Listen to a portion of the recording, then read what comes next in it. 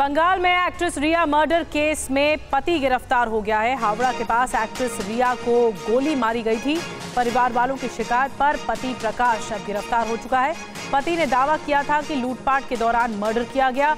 परिवार के साथ कोलकाता जा रही थी रिया कुमारी।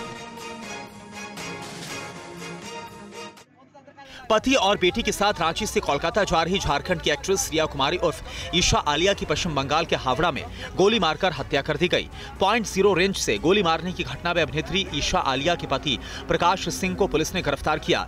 जानकारी के मुताबिक मृत ईशा आलिया के परिवार की तरफ़ से उनके पति प्रकाश कुमार के खिलाफ मामला दर्ज कराया गया है। परिवार का आरोप है कि प्रकाश कुमार ईशा आलिया के साथ मारपीट करता था। प्रकाश कुमार पर पत्नी को टॉर्चर करने का भी आरोप है।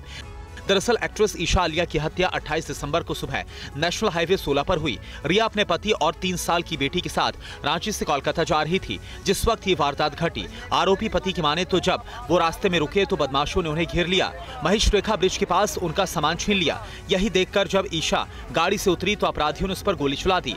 बता दें, रिया कुमारी को झारखंड में ईशा आलिया के नाम से जाना जाता है। उनके पति प्रकाश कुमार भी एक फ़िल्म निर्देशक हैं। ईशा झॉलीवुड, भोजपुरी बांग्ला फ़िल्म में काम कर चुकी हैं। रांची में आज से उन्हें नागपुरी फ़िल्म लाजो के गाने की शूटिंग भी करनी थी।